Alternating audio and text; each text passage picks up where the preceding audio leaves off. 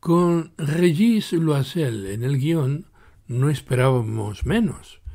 En esta ocasión construye una narración con sentido del humor, logrando cautivarnos desde las primeras páginas, en particular gracias a personajes muy realistas, personajes al fin y al cabo ordinarios que por una vez no tienen el perfil del típico héroe, con los que el lector puede así identificarse fácilmente por su franqueza y frescura. Gráficamente el trazo vivaz de Olivier Pont, de estilo semirrealista, dinámico y que además permite una lectura fluida y amena, no nos defrauda. Y sería injusto no mencionar la participación del colorista François Lapierre, que hizo un gran trabajo sobre todo con los múltiples tonos verdes de la selva amazónica. Max, un joven con ánimo de aventura, decide viajar a Brasil y volver a sus raíces. Él nació y vivió sus tres primeros años en Brasil, pero en la actualidad no conoce a nadie en este país. Cuando llega al aeropuerto se encuentra totalmente perdido. Allí conoce a dos jóvenes enfermeras que también acaban de llegar. Los tres congenian y terminan en casa de Corinne, una amiga de ellas. Durante la cena, Max cuenta un poco su vida y muestra dos fotos que encontró en el apartamento de su madre. Nunca conoció a su padre y sospecha que debe de ser uno de esos dos hombres. La primera pista sobre el posible paradero de su padre se la da la jefa de Corinne. A uno no lo conoce y al otro sentiría mucho que fuera su padre, porque es un jodido bastardo llamado Mermoth, acusado de robo y de raptar a una niña. Han encontrado la casa de la foto.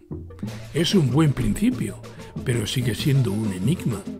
De testimonio a testimonio, todo indica que la persona que más sabe y conoce de la zona es un tal Zachary y justamente el camión de Carlos pasa por donde se encuentra. Pero durante el trayecto son testigos de un intento de asesinato. Intentan escapar y el camión se estrella. Carlos muere y al ser perseguidos no les queda más remedio que adentrarse en la selva. Allí, sobre todo Bahía, deberán enfrentarse a las fieras, a la enfermedad y a sus perseguidores por haber sido testigos de intentos de asesinato, descubriendo unos restos de un avión que supuestamente es el que se utilizó para escapar después de cometer el robo y el rapto de la niña. Además de tener encuentros con los indígenas, también encontrarán a un peculiar personaje un tanto siniestro que vive en la selva y que gracias al alcohol consigue sonsacar a Max donde se encuentran los restos del avión que avistaron en el camino.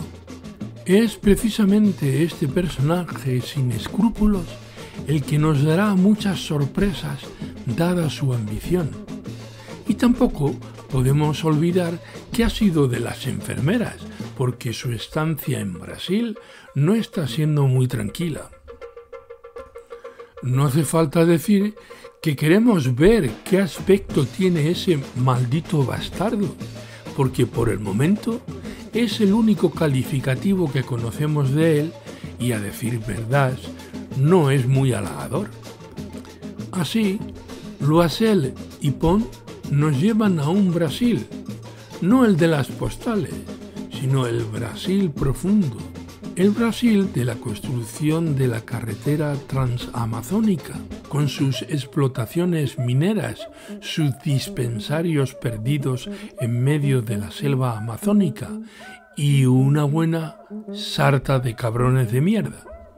Otro aspecto interesante es el papel que juegan las mujeres en esta historia.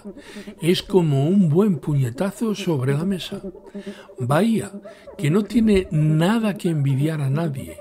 Su silencio, puesto que es muda, y su belleza no eclisan su carisma y su valor, convirtiéndose en una especie de ángel de la guarda de Max.